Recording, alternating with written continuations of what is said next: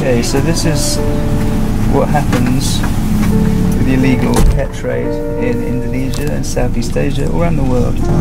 These little things, lovely little otters, get taken away from their mums and they get sold to become pets.